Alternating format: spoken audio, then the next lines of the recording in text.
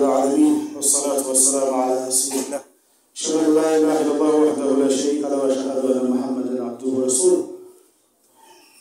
الله سبحانه وتعالى تبتي ولن يؤخر الله نفسا إذا جاء أجلها. Ariko nubwo umuntu yifuza ibyo byifuzo byo kuba yasubira ku isi gatoya ngo hatunganye ntabwo aba ajya yongera igihe cy'umuntu iyo nafsi yacyo igeze iyo iyo nafsi y'umuntu igihe cyayo kigeze amahanga ibyo byo gusaba ngo nakongereye undi mwanya ntabwo byakunda ntabwo biba bishoboka wala yuakhira allahu nafsan idha jaa ajaluha ntabwo allah ajya yongera igihe cy'umuntu iyo nafsi igihe yandikiwe kigeze nta kintu aba abuze kongera umuntu atangira kwifuza gusubizwa ku isi no kuba umuntu mwiza no gutangira kumva no kumvira akibona amalakure maguta amugezeho fakayifa noneho igihe azaba ageze neza imbere ya Allah subhanahu wa ta'ala jahannama. Nibyo Allah avuga ngo wa anzir nasa yawma yatihim al ubwo noneho jahannama abantu bazaba barebana na yo imbona mubona ibihano by'umuriro abantu babireba hanyuma za nkozi z'ibibi n'abagome bagatangira bati nyagasani turakwinginze twongereye agahe gatoya nujimbe da'awataka. Noneho dutangire tukumvire. Twumve ibyo wavuze twumvire amategeko yawe n'amabwiriza yawe. Wanatabire rusura twumvire intumwa twumvire ibyo abatwigisha batubwira. Allah subhanahu wa ta'ala azabasubiza ati awalam takunu aqsamtum min qablu. Ese ntimwari mwararahiye mbere ntimwari mwaramaze gushyiraho indahiro malakum min zawad yuko iyi si mutazayivaho ntimwari mwararahiye mbere yuko iyi mperuka itazagira ngo ibi bihano muri na byo ayo magambo ashatse kuvuga iki? Ntekereza ko twese uko turi aha ntawe wakihanagaza ngo avuge ngo imperuka ntabwo izaba ariko da ibyo bihano nta bihari. Ndumva ntawe wabivuga waye ko wenda wasanga nari kuko mbyumva ko mbitekereza ndumva ntawe wavuga ariko Allah subhanahu wa ta'ala yarashatse kuvuga Allah yaravuze bikije mu gutwi bigahinduka mu kundi nabi Muhammad sallallahu alaihi wasallam yaravuze bikije mu gutwi bigahinduka mu kundi tinya imana reka ibi ngibi ko ibi ukabirengaho nkana icyo ni cyo gisobanuro cy'aya magambo Allah subhanahu wa ta'ala ati awalam takunu aqsamtu min qabl nase ntimwari mwaramaze kurahira mbere ntimwari mwaramaze kwigira ko mwari mwarigize ibitangaza mu kumva yuko iri barura ritazaba iyi mperuka itazaba yewe n'iyesi muzayirimo icyo cyo gisobanuro cy'amagambo mu isura mwese muzi. Allah subhanahu wa ta'ala atubwira ati yahsabu anna malahu akhlada Allah arakunemesha wagize inzu nziza utuyemo wagize amafaranga menshi kuri konti. Ugendamo aho ushaka kugira hajya ugeze icyo ushaka kuyifata urayifata wenda aba yarakujyanye ufite ubuzima bwiza kuko hari ubifite wenda ubuzima ntabwo. Noneho umutungo aba yagutije umwanya urimo wubahitse cyangwa ukunditse icyo uri cyo aba yakugize akuvanye ejo bundi mu mazi asuzuguritse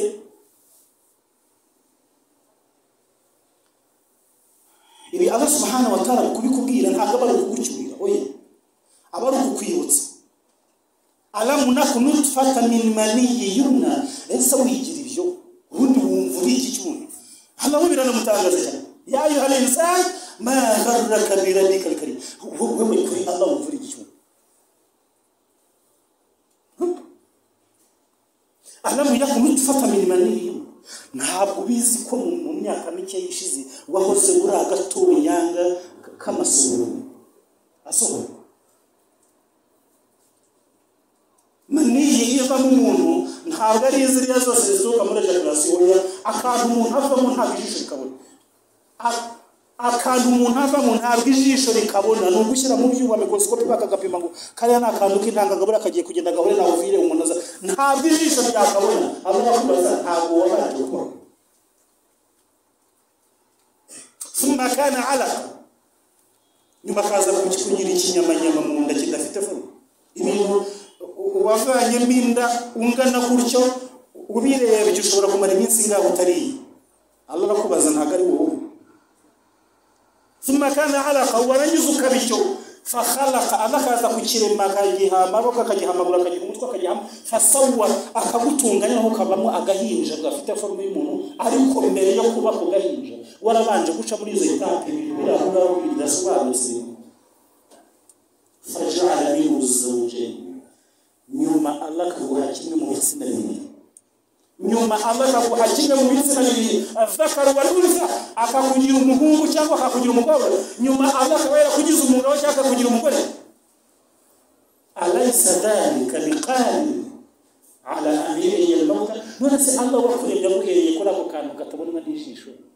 Urumva kuba warapfuye gusa ngo ukamara imyaka ingahe muri mwanandani ukabora ugashinya ukarangira. Urumva ibyo? Kuba Allah yakusuka agaruka uri uyu wowe wibona urumva ko ibintu urumva ari ibintu byamugora kuba azakurima mugabura akongera akakugarura ati ngwino mubaze ibyo ku isi wo kuri yaseho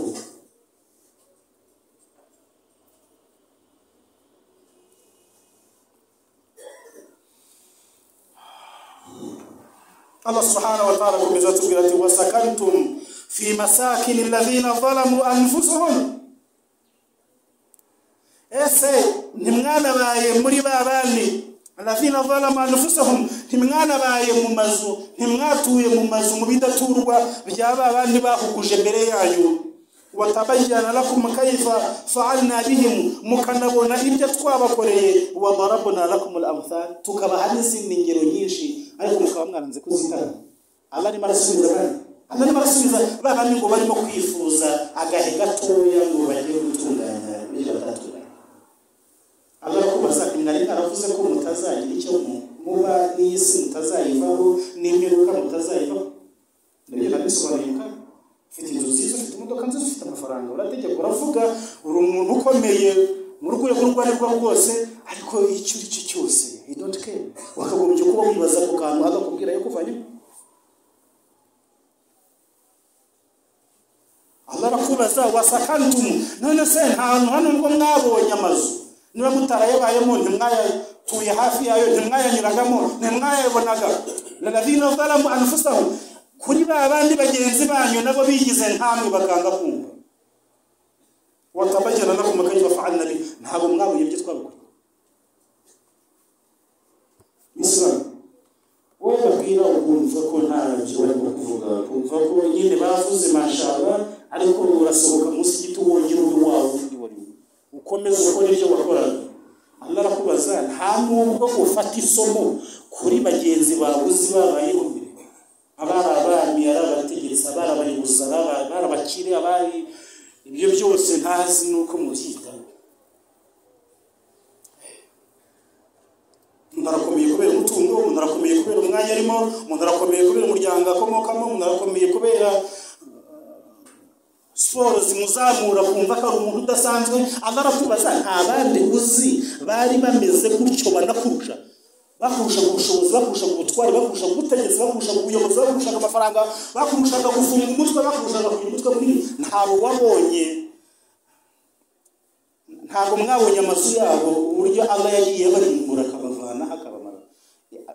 Ku ijumba mperuka gutanga hano narabivuze. Turacyakeneye amaweyiza yo mu bitabo tukiga haruna na hamana na firawu cyangwa muri abahamya b'amaweyiza y'ibyo mwabonye muri iyi myaka yabo.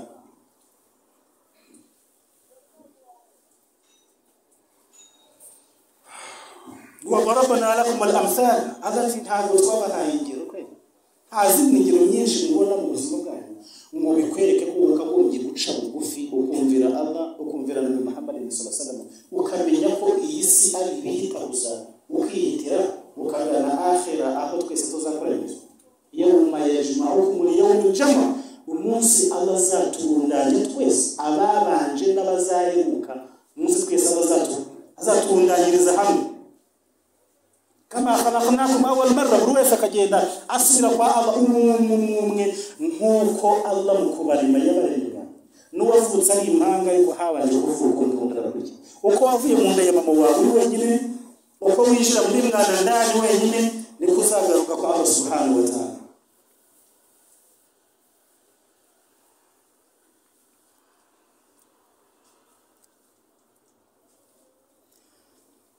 Hey, what's up, everyone?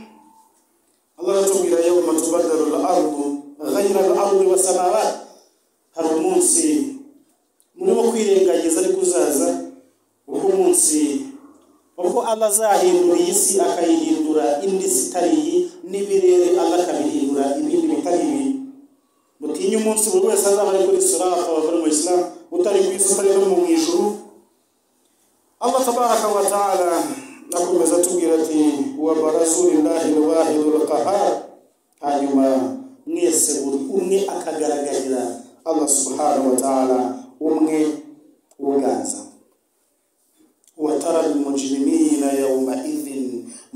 muqarranina fil asfad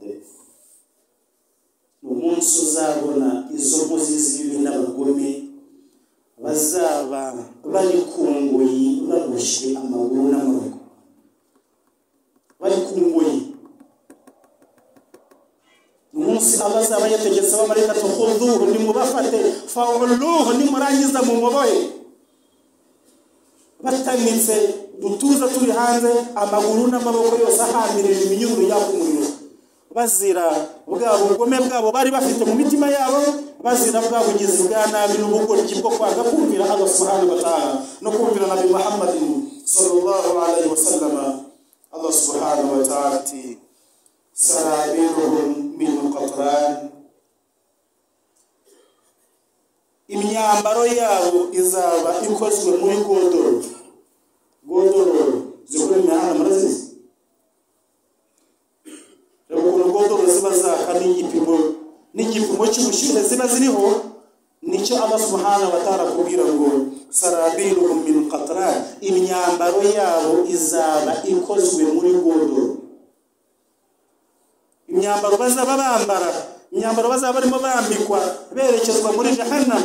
Umunsi uburanga bwabo yawma yuqallabu wujuhum fi nnar umunsi uburanga bwabo buzaba burimo buhindagurwa mu muriro wa jahannam buhindagurwa bugaragurwa umunsi uburanga bwabo buzaba bugaragurwa mu muriro wa jahannam ntabwo uzaba ucyumva uburyohe bwa riba ntabwo uzaba ucyumva uburyohe bwa zina ntabwo uzaba ucyumva uburyohe bwa vulma ntabwo uzaba ucyumva uburyohe bw'amafaranga ntabwo uzaba ucyumva uburyohe bwa etaje ubamo urimo urakuguza abantu wiba utareka imitwe ubeshya uhemuka wambura ukora ubuzima bwa nabi ubigize bwa nabi bwose ngo urashaka inzu nziza kubamo imodoka nziza fahara mwana ndari gutegereje hari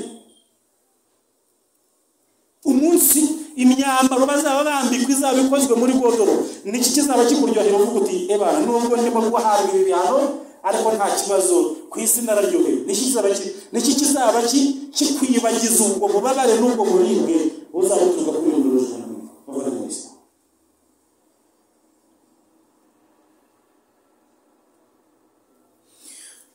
sarabiruhu min qatran umunsi imyambaro yabo imyambaro bazambika izaba ikozwe muri godoro watasha wujuhuhum nar kandi uburanga bwabo buzatwikirwa n'umuriro wa jahannam uburanga bwabo buzatwikirwa n'umuriro wa jahannam faliyadu billah liyajziya allahu kulla nafsi ma kasabat. Ibyo nta kindi ni ukugira ngo buri wese ahabwe ibihembo bingana n'ibyo yakoze. Ni ukugira ngo buri wese agororerwe ingororano zingana n'imikorere ye. Inna allaha sabiru hisab. Kandi allah subhanahu wa ta'ala ni uwihutisha cyane ibarura uva mu isilamu nkunda kubivuga hano kandi si hano gusa n'ahandi icyo allah subhanahu wa ta'ala ubuzima zakomeza kuburira buri muntu wese ngo ushatse wagira neza ushatse wakumvira imana ushatse wakumvira intumwa kuko ibyo wirukankaho byose ibyo wigira byose icyo wumva icyo cyose inyiturano y'isi nini ni isanga n'ipamba n'agasabune ka yive ko karagasigara hano barakakuruza kagasigara mu mazi isanga n'ipamba n'ibijyana uri muremure cyane urabyibushye cyane ufite amafaranga menshi uri umutegetsi uri umuyobozi uri umuntu ukomeye uri umuntu utinyitse uruvuga ari kumvikana uri uri uri fata ibyo ngibyo mvuze wongereho n'ibindi witwerere n'ibindi banakubeshyire n'ibindi agasanda ugendamo niko ngendamo imva bagushyiramo niyo njyamo mwana ndani bakurambikamo niyo njyamo hal ata ala linsani hinu min adahari lam yakun shay'an madhkura uko wamaze imyaka myinshi cyane utaraza kuri iyi si ni nako uzamara indi myinshi cyane uri mu nda yawe. Ntabwo itaje izagusangayo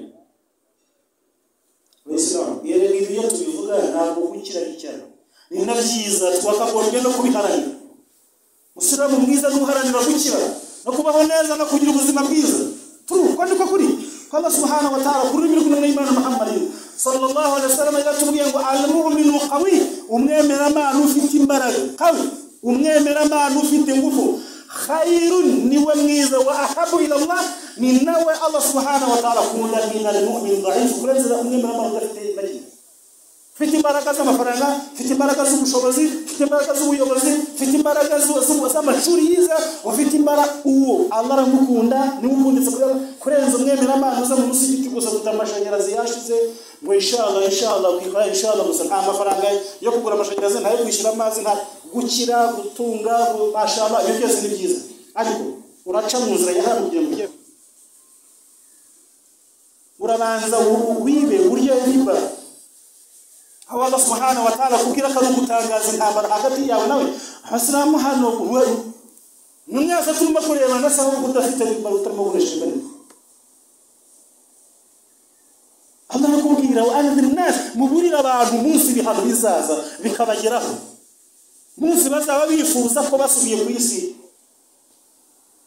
يبغى يفوز تاجر من سكوت الله فزم بالموسى يسني إيه بيدا بيزاز هندوي الأرض غير الأرض والسماوات. ومنس بيبير إلى نيس يجيب هيرو كيزا جاكو جرا يتاجه سيجري كو نيس أما غرفة زباجية أما شريطة زباجية إما هذا نيس زباجية فإذا نفخ في الصور نفخة واحدة نأبوزا تجا كمرايك إسرافير بوها موما نفسا وهملت الأرض يسيقا تغرب والجبار يسوس فتوكتا أما لو كنت أسكت dakatan wahida ntabwo ari ibintu biza uguhondwa kumwe gusa. Fayoma indi waqa'at waqa icyo gihe imperuka izaba yageze ayo mayetaje wubaka muri libana icyo gihe bazabajya ayo mazu meza urimo kubaka azajya kwinjiza amamiliyoni ahubwo si uzi ko uzabimara kandi. Niba hari umuntu wa mbere w'injiji uzatekereza.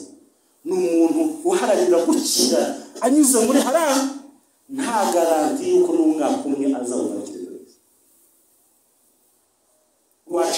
za harari ko zihari aba yaguha gukira farira hamwe atabiguha ukanyurwa no kubara ayo niyo magambo na Muhammad sallallahu yabwiye Abu Hurairah aravuga ati ittaqil maharim uzatinye ibyo Allah subhanahu wa ta'ala yabujije ibyo yise ngo ni haram uzanabigendere ntuzigere kubikora takun ahbada nas ni wowe uzaba uri umugaragu wa Allah mwiza warudi bima qasama Allah lak kandi uzanyurwe n'ibyo Allah subhanahu wa ta'ala yaguhaye takun aghna nas.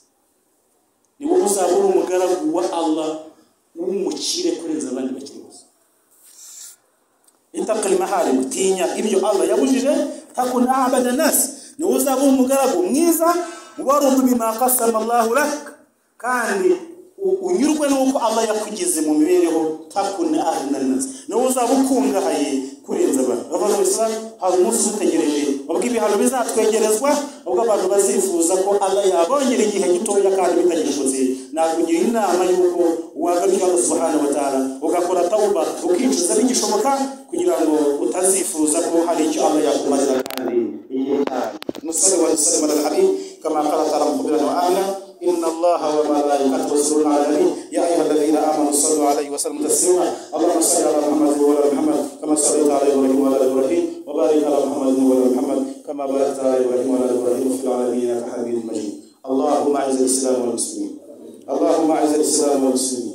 اللهم أعز الإسلام والمسلمين.